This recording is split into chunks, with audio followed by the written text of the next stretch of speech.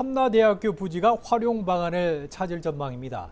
민선 8기 우영훈 도정이 2016년에 400여 원을 들여 매입한 옛 탐나대 부지를 미래 성장 거점으로 육성하겠다는 기본 구상을 밝혔습니다. 학교 용도를 폐지하거나 변경해서 기업과 연구개발 활동이 가능하도록 부지를 활용하겠다고 강조했습니다. 김용원 기자입니다. 제주도는 지난 2016년 416억 원을 투입해 옛 탐나대 부지를 사들였습니다. 하원 공동목장이었던 곳으로 면적만 30만 제곱미터가 넘습니다. 제주도는 매입 이후 활용 방안을 고심했습니다.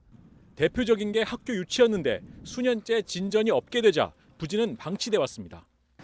수년째 다른 학교 유치에 실패하면서 제주도는 탐나대학교 학교 용도를 폐지하고 연구와 개발 목적으로 활용하기로 결정했습니다.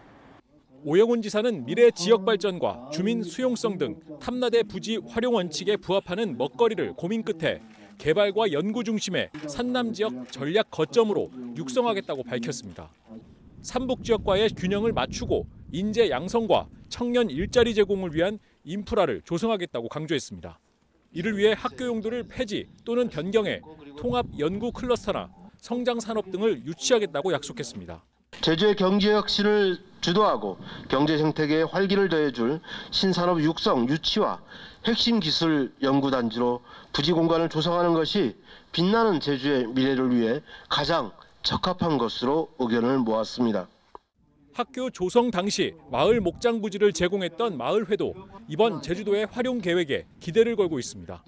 매일 말은 많았었는데 실질적으로 추진되는 경우가 거의 없었습니다. 그래서 어, 이번만큼은 반드시 말만 하면서 이렇게 하지 말고 꼭 추진해서 예, 결과를 꼭 가져왔으면 좋겠습니다 해서 그런 기대감에 우리 마을 주민들도 같이 어, 협조하기로 했습니다.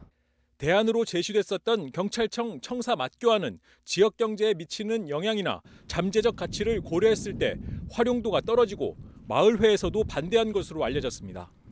학교 용도를 폐지할 경우 대학 유치는 영어교육도시에 있는 제주도의 교육 용지를 활용하기로 했습니다.